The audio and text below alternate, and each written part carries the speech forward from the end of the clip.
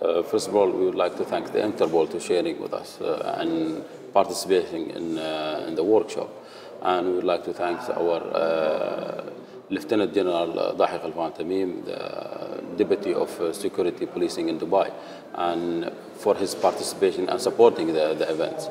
And uh, we, would, we would like to take this uh, event to get further with the Interpol. We would like to work with them as an and we, we would like to work closely with them to, to have an, an, an, an first operation in, in the region.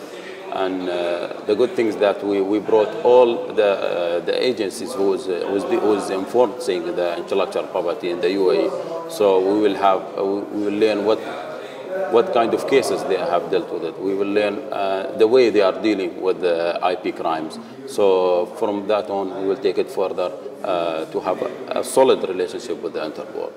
I think, uh, I believe the, the Interpol has established with, their partners uh, the, the college regarding the, the IP crime and how they can uh, participate, how they can monitor, how they can really know what's a kind of counterfeit products. Uh, this is one of its kind, I believe, in, in the world, and that's why we brought the Interpol here uh, to pass the information about the college, and we would like all our agencies, enforcement, enforcement agencies, uh, to look at the college, uh, to participate in it, and, and to learn from it.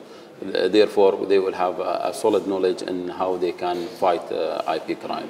And we would like to thank the Interpol for all their efforts and for all their uh, networking uh, in order to make uh, this event happen.